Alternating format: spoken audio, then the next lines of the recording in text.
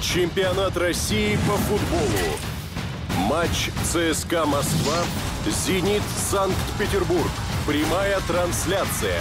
В субботу в 13.30 на 100 ТВ. Я Брунович, смотри «Зенит» на 100 ТВ.